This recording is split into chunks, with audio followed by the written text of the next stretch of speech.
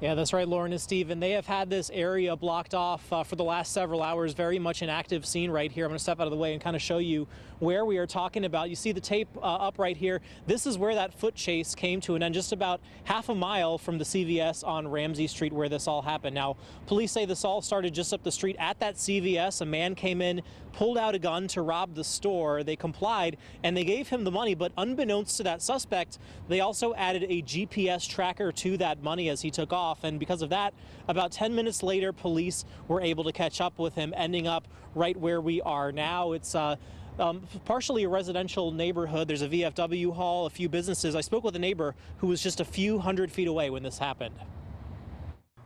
And then next thing you know, you hear a couple of gunshots, one or two, I don't remember. And a bunch of police flew in. It's like, wow, I'm back in Chicago. it, it was just wild.